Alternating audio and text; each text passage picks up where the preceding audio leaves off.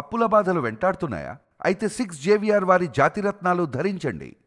Hi welcome to Manam TV. నేను మీ కట్ట కార్తీక్ మనతో ఉన్నారు ప్రముఖ రాజకీయ విశ్లేషకులు అప్సన్ రాజ్ గారు. సార్ నమస్కారం సార్. నమస్కారం. సార్ విజయవాడ వరదలు ఒక దశకు వచ్చినట్టున్నాయి దాదాపు సాయ కార్యక్రమాలన్నీ బాగా జరిగాయి. అన్ని కార్యక్రమాల్లో వరదను ఎదుర్కోవటంలో కానీ సాయ చర్య చేయటంలో కానీ అతడే ఒక సైన్యంలో చంద్రబాబు నాయుడు గారు చూపించిన తెగువ డెబ్బై నాలుగు వేల వయసులో కూడా రోజుకి పంతొమ్మిది గంటలు పైగా పనిచేసిన వైనం ఈ మొత్తాన్ని చంద్రబాబు నాయుడు గారి కృషిని ఎలా చూడాలి? అంటే జనరల్గా మనం వేరే సైన్యం లేకుండా ఒంటరి పోరాటం చేసి తానే ఒక సైన్యంలాగా యుద్ధం చేసిన వాళ్ళని అతడే సైన్యం అంటారు. అతడే ఒక సైన్యం అంటారు. అవును. కానీ ఇక్కడ చంద్రబాబు నాయుడు గారు సర్వ సైన్యాధ్యక్షుడిగా ఆయన చేతిలో ఉన్న ప్రతి వనరుని సద్వినియోగం చేసుకుంటా. తన పూర్తి మెకానిజాన్ని పూర్తి స్థాయిలో మొహరించి ఇవాళ ఈ వరదని హ్యాండిల్ చేసిన తీరు చూస్తే పంతొమ్మిది వందల తొంభై ఐదు నాటికి రెండు వేల ఇరవై నాలుగు నాటికి చంద్రబాబు నాయుడు గారి పాలనా దక్షతలో కానీ అడ్మినిస్ట్రేషన్ పరంగా ఆయన ప్రదర్శించే సామర్థ్యం విషయంలో కానీ ఎటువంటి మార్పు లేదు.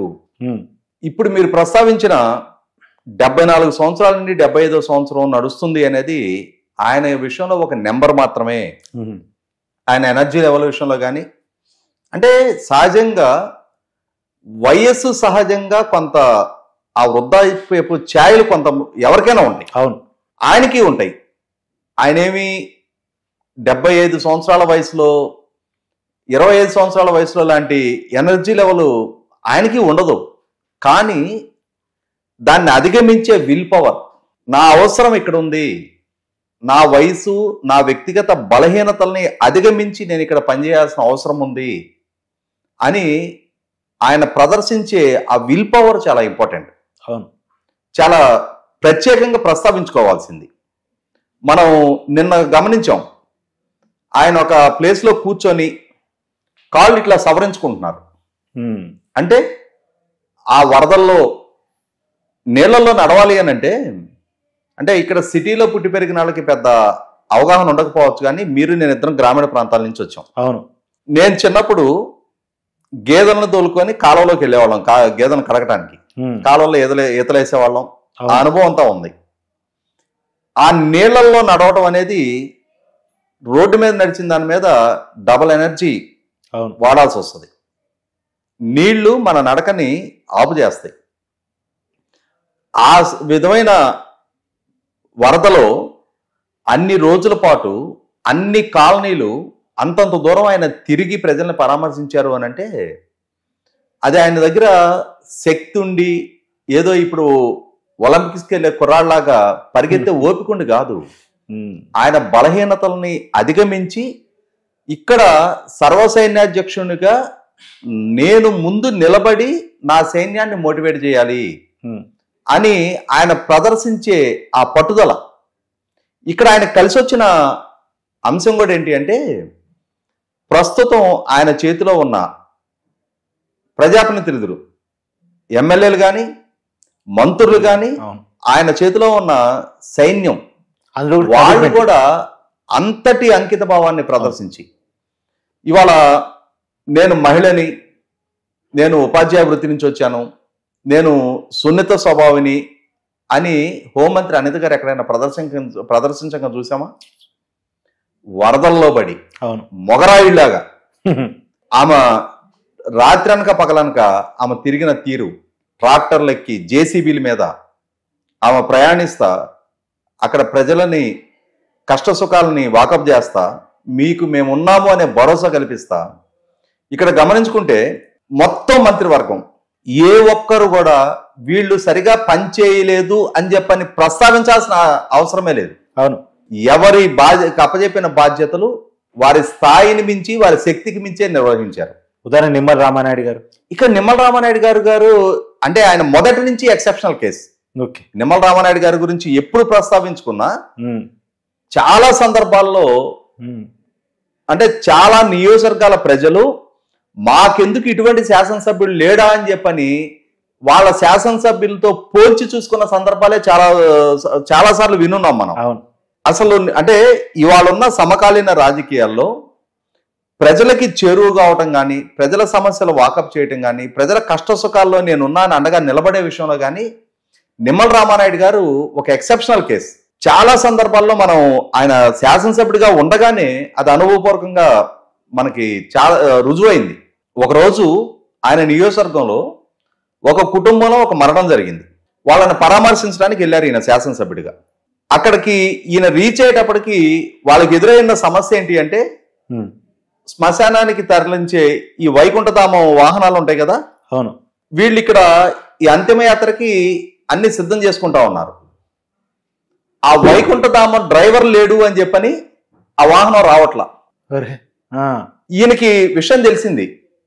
ఈయన డైరెక్ట్గా ఆ వాహనం ఉన్న శ్మశానం దగ్గరికి వెళ్ళిపోయి ఈయనే డ్రైవ్ చేసుకుంటూ తీసుకొచ్చేశారు.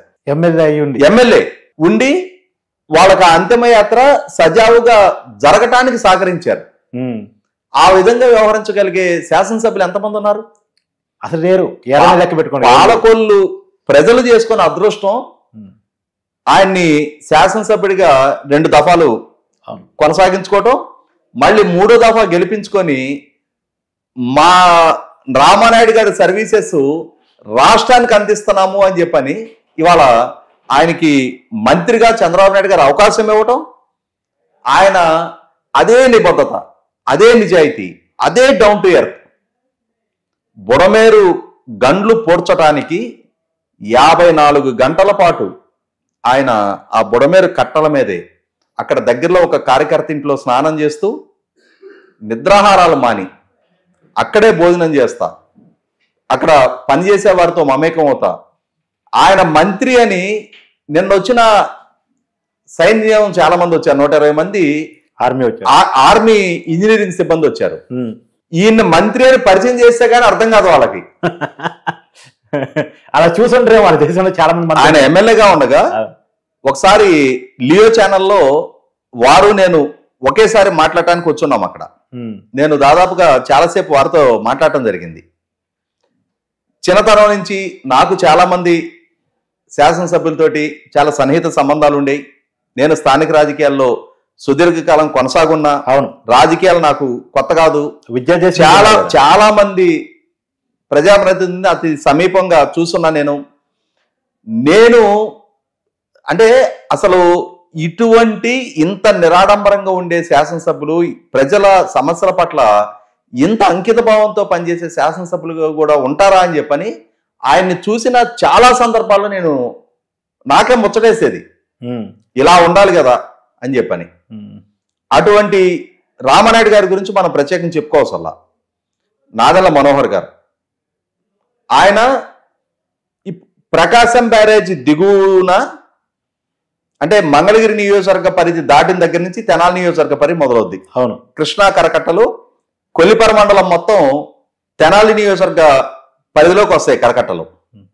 ఆ కరకట్టలు వీక్గా ఉంటే ఆయనే స్వయంగా కరకట్టల మీద నిలబడి అక్కడ ప్రజల్ని తర్వాత అధికార యంత్రాంగాన్ని సమీకరించి ఆ కరకట్టల్ని స్ట్రెంథన్ చేయటం. అది దాటిన దగ్గర నుంచి దిగుకెళ్తే మా వేమూరు నియోజకవర్గ పరిధి ఆ తర్వాత రేపల నియోజకవర్గ పరిధి. అనగాన సత్యప్రసాద్ గారు గొట్టిపాటి రవికుమార్ గారు నక్కా ఆనందబాబు గారు.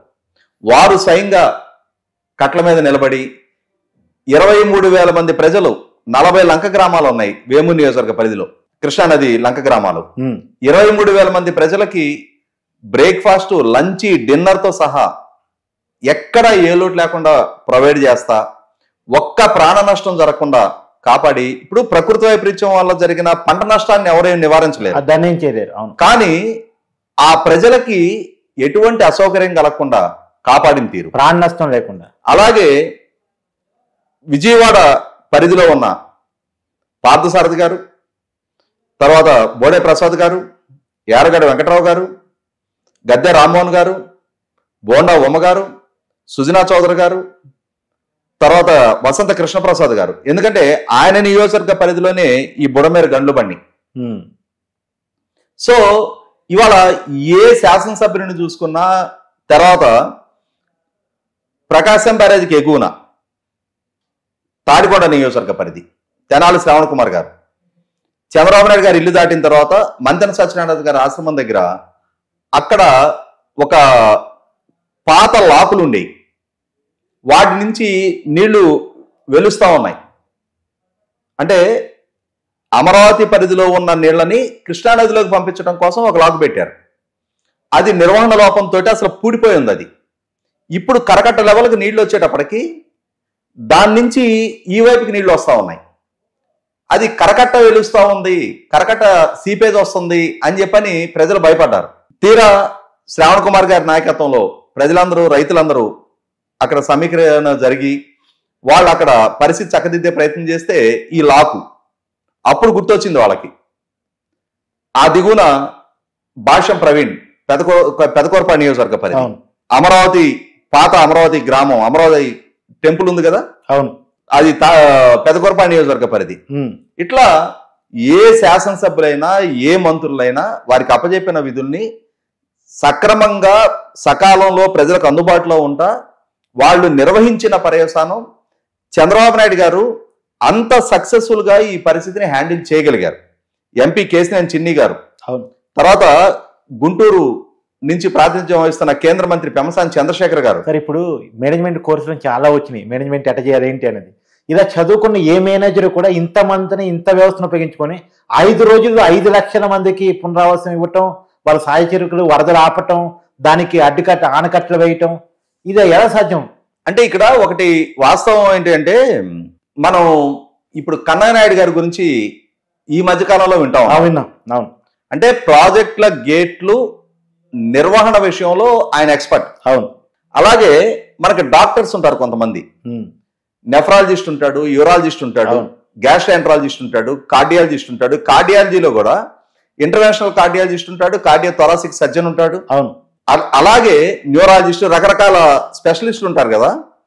ఇలా ఉన్నట్టే చంద్రబాబు నాయుడు గారు క్రైసిస్ మేనేజ్మెంట్ విషయంలో దేశంలోనే ఒక స్పెషలిస్ట్గా చెప్పుకోవచ్చు ఆయన్ని. ప్రపంచంలోనే. ఎందుకంటే ఇవాళ మన దే దేశంలో చాలా రాష్ట్రాలకి చాలా సందర్భాల్లో ప్రకృతి వైపరీత్యాలు సంభవించింది వాస్తవం. అవును. మన కళ్ళ ముందు ఈ మూడు దశాబ్దాల కాలంలో అంతకు ముందు కూడా ఇప్పుడు కోస్టలాంధ్ర ప్రాంతంలో పుట్టి పెరిగిన మాకు తుఫాన్లు కొత్త కాదు. పంతొమ్మిది ఏడు తుఫాను నాకు ఎనిమిది సంవత్సరాల వయసులో రా వచ్చింది. నాకు ఇప్పటికీ ఆ తుఫాను సృష్టించిన విధ్వంసం ఒక పీడకల్లాగా ఆనాటి ప్రజలు ఎదుర్కొన్న బాధలు ఇవాళలాగా పక్కా ఇళ్ళు లేవు కూడా లేవు ఆ రోజుల్లో. చాలా రైతు కుటుంబాలు రైతు కూలీలు పూరిళ్ళలోనే నివసించే పరిస్థితులు. అటువంటి స్థితిలో ఆ డెబ్బై ఏడు తుఫాను సృష్టించిన విధ్వంసం ఏంటి అనేది అంటే దివిసీమ ఉప్పెన గురించి మాకంత అవగాహన లేదు ఆ రోజుల్లో. ఓకే. మాది గుంటూరు జిల్లా. కానీ తర్వాత తర్వాత అనుభవంలో తర్వాత తర్వాత మాకు అక్కడ జరిగిన నష్టం ఏంటి ఎంత ప్రాణ నష్టం జరిగింది అనేది తెలుసుకున్నాం మేము. అటువంటి స్థితి నుంచి చంద్రబాబు నాయుడు గారు పంతొమ్మిది వందల తొంభై ఐదులో ముఖ్యమంత్రిగా బాధ్యతలు చేపట్టిన తర్వాత పంతొమ్మిది వందల తొంభై ఆరులో మొట్టమొదటగా కోనసీమలో తుఫానుకి ఒక తుఫాన్ రూపంలో ఒక పెను ప్రమాదం ముంచుకొచ్చింది. దాన్ని ఆయన హ్యాండిల్ చేసిన తీరు. అంటే తుఫాన్ ఆయన ఏం ని- కానీ ఆ తుఫాను అట్లా పాస్ అయ్యి అవగానే ఉమ్మడి రాష్ట్రం ఆ రోజున హైదరాబాద్ నుంచి హెలికాప్టర్లు వెళ్ళి ఆయన అక్కడ ల్యాండ్ అయ్యి వారం పది రోజుల పాటు ఇలాగే మొత్తం యంత్రాంగాన్ని అక్కడే కేంద్రీకరింపజేసి అక్కడ ప్రజలని మళ్ళీ ఆ పీడకల నుంచి వాళ్ళని సాధారణ స్థితికి తీసుకొచ్చిన తర్వాత అక్కడి నుంచి కదిలారు. ఇదే అనుభవం హుదూదు సందర్భంగా చూసాం. అవును. ఉత్తరాఖండ్ వరదల్లో చిక్కుకున్న తెలుగు వారిని రెస్క్యూ చూసాం. వాళ్ళ ఇళ్ళకి చేర్చిన విషయంలో చూసాం. కరోనా ముంచుకొస్తున్న సందర్భంగా ఆయన ప్రపంచవ్యాప్తంగా ఉన్న వైద్య నిపుణులతోటి వర్క్షాపులు కండక్ట్ చేస్తా ప్రధానమంత్రి కార్యాలయానికి పరంపరగా రిపోర్ట్లు పంపించిన తీరు గురించి వినున్నాం. అవును. ఉక్రెయిన్ యుద్ధం సంభవిస్తున్న సందర్భంగా తెలుగు విద్యార్థులు అక్కడ ఉక్రెయిన్లో చిక్కుకున్న వాళ్ళని వాళ్ళని అక్కడ ఎన్ఆర్ఐస్తో కోఆర్డినేట్ చేస్తా వాళ్ళని సేఫ్గా ఆ ఉక్రెయిన్ నుంచి బయటికి తీసుకొచ్చిన సందర్భం చూసాం కాబట్టి క్రైసిస్ని చంద్రబాబు నాయుడు గారు హ్యాండిల్ చేయటం ఆయనకి ఒక రకంగా ఏంటంటే ఆయన ముఖ్యమంత్రిగా బాధ్యతలు చేపట్టిన సందర్భాలు కూడా క్రైసిస్లోనే బాధ్యతలు చేపట్టారు. అంటే తెలుగుదేశం పార్టీలో ఒక సంక్షోభం తలెత్తిన సందర్భంలో ముఖ్యమంత్రిగా పంతొమ్మిది వందల తొంభై ఐదులో బాధ్యతలు చేపట్టారు. రాష్ట్ర విభజన జరిగిన నేపథ్యంలో రెండు వేల పద్నాలుగులో రాజధాని లేని ఒక రకంగా ఒక అనాథలాగా మిగిలిన ఆంధ్రప్రదేశ్ రాష్ట్రానికి రెండు వేల పద్నాలుగులో ముఖ్యమంత్రిగా బాధ్యతలు చేపట్టారు. అవును అది క్రైసిస్. రెండు వేల ఇరవై నాలుగులో జగన్మోహన్ రెడ్డి గారి పాలన సృష్టించిన విధ్వంసం. ఆర్థిక సంక్షోభ స్థితిలో ఆయన ముఖ్యమంత్రిగా బాధ్యతలు చేపట్టారు. పెద్ద క్రైసిస్ కాబట్టి ఆయన ప్రతి సందర్భంలో చెప్తుంటారు every crisis is an opportunity పదే పదే చంద్రబాబు నాయుడు గారు చెప్పేది మనల్ని మనం రుజువు చేసుకోవటానికి అలాగే ఆ క్రైసిస్ నుంచి కూడా అవకాశాలు సృష్టించుకోగలుగుతాం మనం అని చెప్పని పదే పదే చెప్తూ ఉంటారు. ఇవాళ ఏది ఏమైనా సరే తెలుగుదేశం పార్టీ ఆధ్వర్యంలో ఎన్డీఏ కూటమి పాలన కొనసాగుతూ ఉంటాం.